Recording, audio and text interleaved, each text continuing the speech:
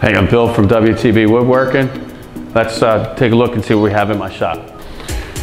Our shop's unique because we are one of the few shops in the area that can take a log from, you know, log form all the way through to the through the drying process and then even from there flattening and turning it completely into a project without having to outsource any part of it. So we have a uh, an iDry vacuum kiln here, an iDry standard so we can dry lumber up to 12 foot six long.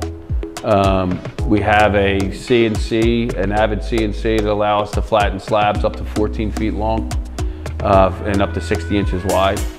This is ash down here, cherry to here, and white oak. So we have the ability to work with large pieces of lumber where a lot of places don't have that ability.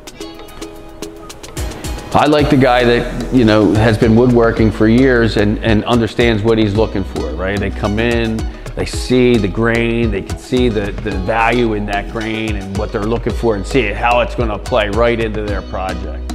I mean, I, that's the guy that I, or, or gal, that, that I'm looking to really, you know, interact with because they, they understand what I see when I look at this pile of wood. You know, they understand, you know, what's there and, and the, and, and the the reward of taking that and turning it into your finished project.